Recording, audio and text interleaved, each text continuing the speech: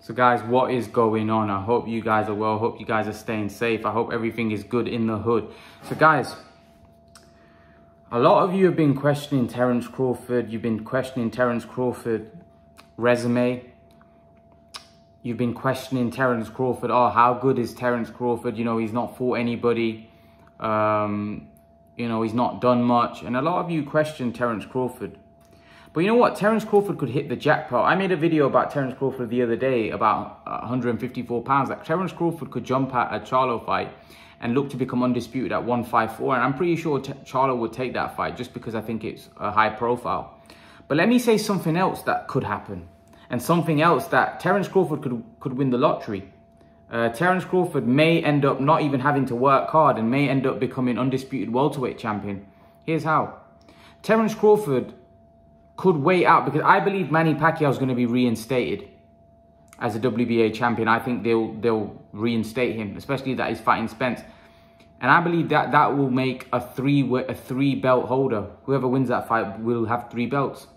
Terence Crawford then is in prime position to fight the winner for the undisputed. And although I would like Spence is obviously the favorite going into Pacquiao. If Spence beats or Spence or Pacquiao wins, you have to say Crawford has a good chance of beating either guy. By the way, I think if Pacquiao wins against uh, Spence, I do think Pacquiao momentum would be so high. I think he'd be in a great place. And same with Spence, by the way. And I would make both guys a favorite against Crawford. However, it was by no means, it would be by no means a shock if Terence Crawford beats either guy and he could become undisputed. So Terence Crawford's been sitting back all this time being criticized by the fans, but in a, in a moment, he can outdo Spence by beating him. Even though Spence has put in the work, Spence has worked very hard. Spence is, you know, he's been fighting the tougher opposition. But within one fight, Terence Crawford can become undisputed welterweight champion not having to go through the fights that Spence had had to go through and beat Spence and take everything from him. Just in one fight. So although a lot of people think are feeling sorry for Terence and saying that Terence is this in this position, he could win the jackpot by get if, because that fight's going to happen. It's going to happen. It's going to be for the undisputed. You can't sit here and say that that fight's not going to happen because it will. Because Spence wants to be undisputed welterweight champion. And in order to be undisputed welterweight champion, he has to beat Terence Crawford. So, is Terence Crawford? Yes, people keep questioning his profile, but I actually think Terence Crawford may end up winning the jackpot if he, especially if he beats Spence, which is a possibility. I know for me, I think I would have Spence favorite, but by no means am I writing Crawford off to the extent. I actually think it's like a 60-40 fight, fight in front, of, you know, in Spence's favor. But by no means, I don't think Crawford can beat Crawford can beat Spence. And if he does, my goodness, he's had it off. He becomes the undisputed welterweight champion. You know, without fighting the Danny Garcias, the Shawn Porter, the Keith Thurman, he, he becomes undisputed. So when people say that, you know, Crawford's in this bad position, I disagree. I don't think he is. I don't think he is. I actually think he's not in a bad position at all. I actually think he could become undisputed welterweight champion. And like I said, without having to go through the fights that Therm uh, Spencer's had to go through. So I know people feeling sorry for Crawford. Oh, he's not getting the fights. Well, Crawford could, like I said, could win the jackpot without having to, without having to go through a lot of trouble like Spence. Because Crawford may get that fight straight after the, or the winner of that fight. Because the winner of that fight would want to become undisputed. I do think if Pacquiao wins, it'll be a lot easier to make because I don't think Pacquiao, although Pacquiao's going to want a bigger slice, I do think Terence Crawford will be willing to give Pacquiao the biggest slice and he's not going to put up much of a fuss. I think if it's Spence, I just think because of the ego and the fact that I think it will be a lot harder to make. However, I do think that if I was Terence Crawford, I think he should put that ego to one side because he could win everything. Like everyone's been talking about his resume and this, that, and in one fight he could just like shut everybody up. So Crawford, although people keep going on about oh how bad a position and he's not getting, he's not in that bad a position at all. He's actually, in my opinion, in a very good position, and he might even find himself in a position where he becomes undisputed welterweight champion, because there's a lot of people that think Crawford beat Spence. This is what I'm saying that I don't think Crawford is in as bad a position as what people make out. He could become the undisputed welterweight champion. Right? I don't think any of you, I don't think any of you would be shocked if Crawford beats either Pacquiao or Spence. And he'd only be one fight away from becoming undisputed welterweight champion. So basically, while all this time, like when Crawford fought at 140, Crawford beat like he became a unified champion, then he became undisputed. He fought Indongo for the undisputed, which I do think his run at 140 was fairly weak. I don't think he had a tough run. I think some of the fighters there were quite, you know, but he did beat everyone quite convincingly. However, in one fight, which would probably define his career and probably be it'd be his biggest fight and probably define Crawford, that one fight but that one fight can make him undisputed without having to go through the trials and tribulations that someone like Spence had to go through. Because Spence had to fight your Porters, your Danny Garcias. He's had to fight those top welterweights. And now he's fighting Pacquiao. And if Pacquiao wins, same thing. Pacquiao's fought Thurman, Spence. And Crawford just gets an opportunity at the undisputed welterweight champion without having to go through the top welterweights. You know, Khan and Brook in their day were top welterweights, but they were past their best when he fought them, and they weren't top welterweights when he fought them. So this is what I'm trying to say. Crawford can like jump the queue. Like Crawford's in a great position because if I was Crawford, I would probably look to fight a Josh Taylor. Because I don't think Josh Taylor beats Terence Crawford. Beat Josh Taylor. And then it's a it's it's a payday. It's a big fight, and you know it, it gives him a, a fight, keeps him active because he can't wait around, and then look to fight the winner of Spence Pacquiao for the undisputed. Crawford's in a fantastic position.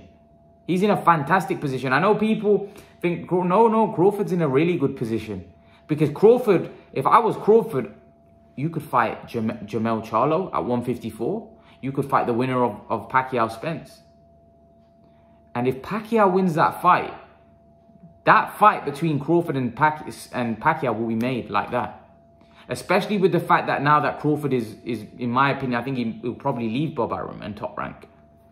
That fight will be very easily made. So Crawford isn't in as bad, bad a position as what people think, and he has a chance to create history and legacy. Imagine if Crawford becomes undisputed at welterweight. I don't know whether, I don't think that's ever been done. A guy un becomes undisputed at two weight classes. And he's not even to, like I said, he's not to have to go through the trials and tribulations. He's just to have to have one tough fight. Spencer's had Danny Garcia, uh, Shawn Porter, Mikey Garcia. I know Mikey was a smaller guy. And now Pacquiao. Right? Terence Crawford is just to have one tough fight. And he could win all the marbles at welterweight. He could be the undisputed welterweight champion. This is what I'm trying to say. He's actually not in a bad position. And by the way, he's been making good money along the way. Like he got paid well for fighting Khan, Brook, Horn, all of those guys.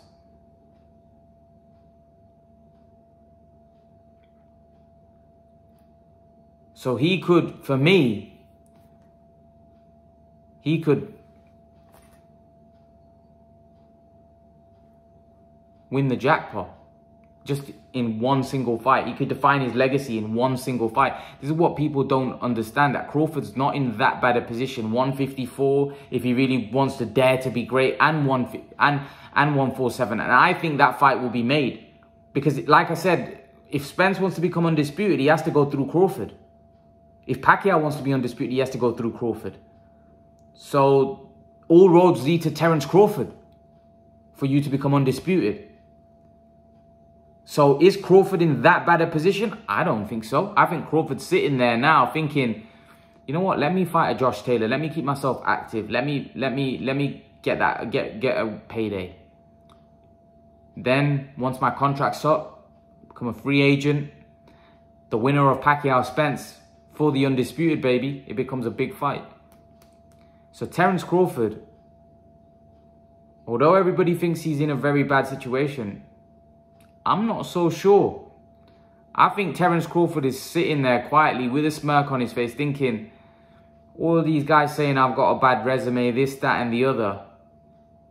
Let the winner of Pacquiao and Spence, and then we'll see what happens. Let me have a fight in, in between, and then I'll fight Pacquiao Spence. And and I know a lot of you say, oh, well, he doesn't want to fight Spence. Crawford will fight Pacquiao or Spence in a heartbeat. In a heartbeat, especially when he knows it's for the undisputed. I think Crawford is very confident he beats both guys. So Crawford, like I said, and most importantly, look at that run. Uh, even though it may not be right, Spence and Pacquiao have obviously put in a lot of legwork. Because if, if Pacquiao wins, he would have beaten Thurman and Spence, arguably two of the best welterweights. And then he'd fight Crawford. But if Crawford beats him, Crawford gets everything. He gets all the marbles. All the adulations. He becomes undisputed, baby. He's done everything. This is what I'm trying to say, that Crawford's not in that bad a position as what people think, because Crawford's been making a lot of money along the way as well. And then that he, then he's going to get that super fight. Because like I said, if you want to become undisputed and you have that ambition, all roads lead to Terence Crawford. And people may think it's wrong, it's not right, whatever, but the fact is, it's the truth. You want to become undisputed, all roads lead to Terence Crawford. So Crawford may be in a position where he may get the winner of Pacquiao Spence and you know, he may be laughing. He may be laughing. You know, sometimes things play out the way they play out. Crawford may just have to fight one fight to become undisputed while Spence has been unifying and having tough fights. You know, Crawford may just have to have one fight and he could take everything away from Spence. Because let's be honest, let's get it right. There's a lot of people out there that think that Crawford beats both Pacquiao and Spence. So whoever wins that fight, there's going to be a lot of people thinking Crawford wins against either guy. And it'd be seen as a 50-50 fight. This is what I'm trying to say. That Terence Crawford is not in that bad a position from a legacy standpoint because if like Pacquiao's a legend anyway, so even if Crawford was to beat Pacquiao and if Pacquiao was to beat Spence, it's not going to do any damage to Pacquiao's legacy because Pacquiao's got such a great, had such a great, great career. But with Spence, oh my goodness, it would definitely hurt Spence's legacy if Spence was to beat Pacquiao because Crawford would have taken everything away from him. And he would be the guy that's been talked about because he's just beaten Spence. And that's why that fight would then basically, although Spence has put in all the, had all the hard fights and put in all the tough work, he could lose everything by losing to Crawford.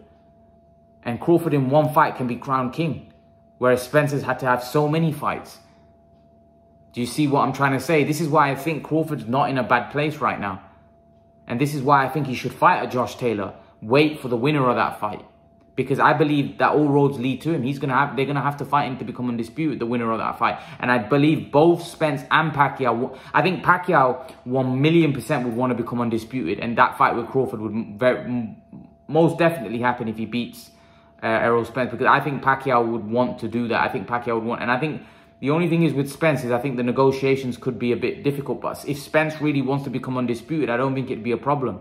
It just depends on Spence's ambition and how badly he wants to become undisputed. So again, I don't think Crawford's in a bad position, but that's just my thoughts. Leave your thoughts. I'd love to know your opinion about this situation. Do you agree? Do you disagree with me? Leave your thoughts. Let me know what you think. And guys, remember to please like, share, and subscribe to my channel. I'll see you guys in the next video. Peace.